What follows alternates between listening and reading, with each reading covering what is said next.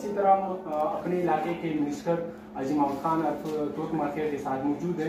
उनसे पूछेंगे कि मौजूदा सूरत क्या है हमारे इलाके में? इस वक्त कोरोना के क्या असरात हैं? किस तरह उन्होंने इंतजामियात किए हैं और उनकी पॉलिसी क्या है? कुछ भी नहीं था।